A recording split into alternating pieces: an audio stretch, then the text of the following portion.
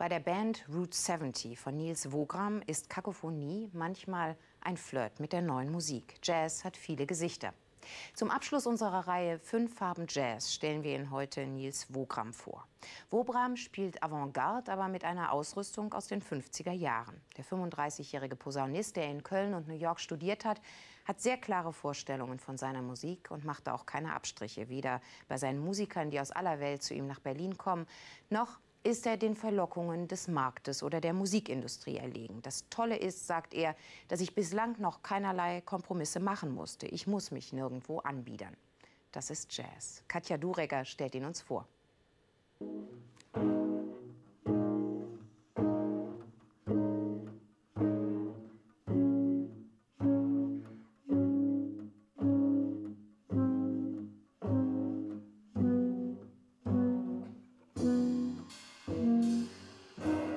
Rock Studio in Berlin, auf dem Gelände des ehemaligen DDR-Rundfunks. Der Posaunist Nils Wogram spielt mit seiner Band Route 70 eine neue CD ein.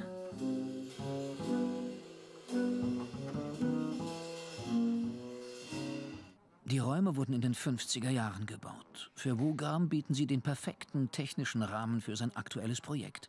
Im Sound der 50er Jahre will er Tradition und moderne Spieltechniken miteinander verbinden.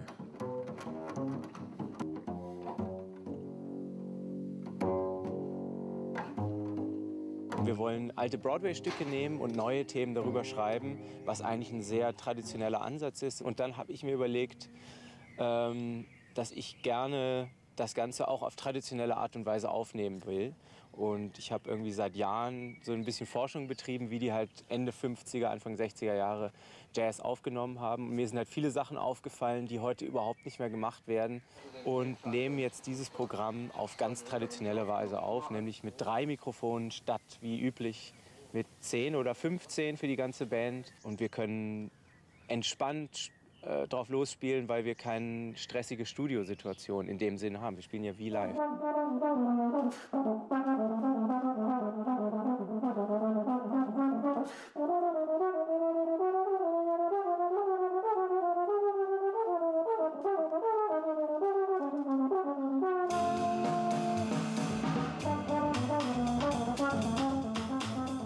Als schon früh entdeckter und außergewöhnlich begabter Posaunist war es Nils Wogram nie genug, sich auf das Spiel allein zu konzentrieren.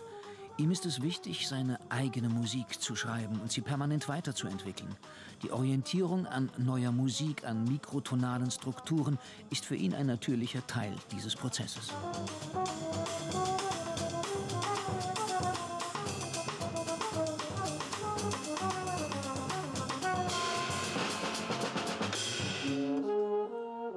Wugram ist ein klassischer Bandleader und Mastermind von Route 70.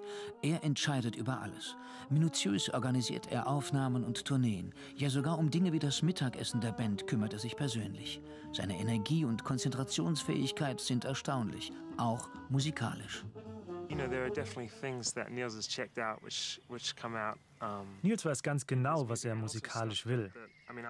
Ich kann nicht sagen, wo das genau herkommt. Es ist einfach Nils eigener Sound. Bestimmte rhythmische Dinge und seine Art, Melodien zu schreiben, die sind wirklich einzigartig.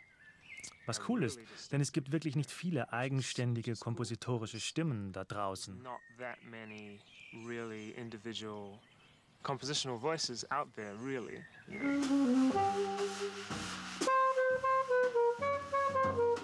Der neuseeländische Saxophonist Hayden Chisholm und Nils Wogram komponieren die meisten Stücke. Schlagzeuger Jochen Rückert und der New Yorker Bassist Matt Panman sind die perfekte, gar unerlässliche Ergänzung. Denn nur wenige Musiker sind in der Lage, den musikalischen Vorstellungen der beiden mit solcher Leichtigkeit zu folgen.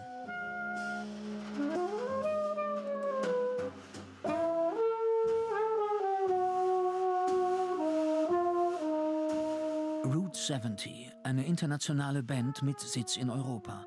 Auch das eine bewusste Entscheidung des Posaunisten. Wenn ich jetzt darauf warten würde, dass mich irgendjemand, der vielleicht bekannter am Anfang meiner Karriere war als ich, in seine Band holt und mich dann bekannt macht. Da kann ich äh, so lange warten, bis ich schwarz werde. Und äh, deswegen bin ich hier sozusagen gezwungen, mein eigenes Ding zu machen, weil äh, wenn wenn ich das nicht mache, dann passiert gar nichts. Und dann komme ich schlecht drauf, weil dann habe ich keine Bands, die auf dem Niveau spielen, auf dem ich das, die Musik gerne höre.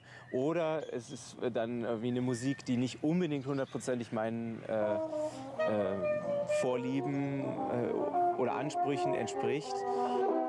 Hohe Ansprüche, die sich bezahlt machen? Immerhin gilt Wogram als Berühmtheit in der jungen deutschen Szene.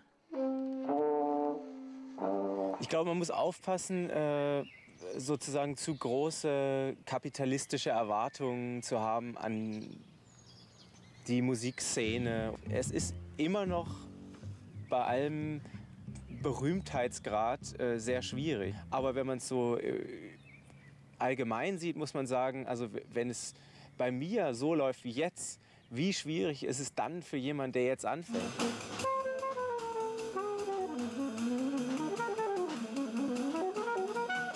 Bei allen Schwierigkeiten, Nils Wogram spielt heute weltweit auf den Jazzbühnen mit Route 70 und anderen. Das beste Beispiel dafür, dass deutsche Jazzmusiker auch international wieder konkurrenzfähig sind.